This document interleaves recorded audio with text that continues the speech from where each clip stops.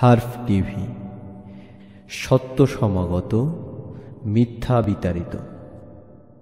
আমরা আর একটা প্রশ্ন পেয়েছি, আবির মাহমুদ প্রশ্ন করেছেন, হুজুর, পশু বাছাই করার ব্যাপারে বিস্তারিত জানা, জানাবেন, বিস্তারিতভাবে জানতে চাই। ভাই, পশু বাছাই করার ব্যাপারে প্রথমত আপনার ছয় প্রকার প্রাণী কোরবানি দেওয়ার বিধান আছে।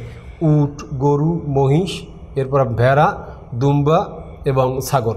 এই ছয় প্রকারের মধ্যে উটের বয়স হতে হবে পাঁচ বছর, গরু এবং মহিষের বয়স হতে হবে দু বছর, ছাগল, ভেড়া, দুম্বা, এক্ষেত্রে প্রত্যেকের বয়স হতে হবে এক বছর। এই গেল আপনার প্রাণী এবং তার বয়স।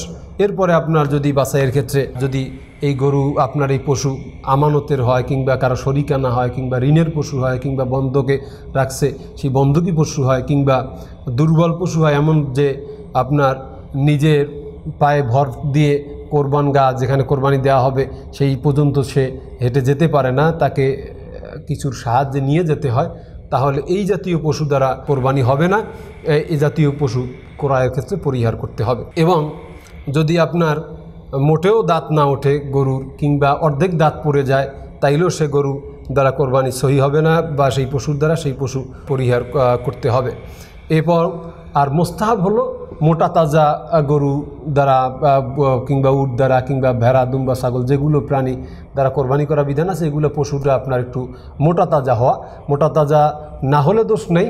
যদি শারীরিক শরিয়াতে যে খুদ বলা হয়েছে, সেই খুদ না থাকে এবং মোটা তাজা না থাকে, তাহলে দোষ নেই। কিন্তু মোটা তাজা দিয়ে করা উত্তম, মোস্তাহাব বলা হয়েছে। সমর্থ অনুযায়ী প্রত্যেকে একটু ভালো মানের পশু দ্বারা কোরবানি করার চেষ্টা করবেন।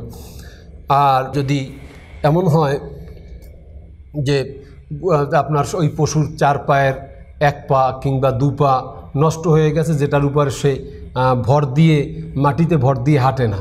অর্থাৎ সে পাটা মাটির উপরে রাখে। এ জাতীয় পশু দ্বারাও কোরবানি হবে না। অর্থাৎ চার পায়ের কোনো এক পা যদি এমন থাকে যেটা সে মোটেও সাহায্য নেয় না তাহলে সেটা দ্বারাও কোরবানি হবে না। এ জাতীয় পশু ক্রয় করা যাবে না।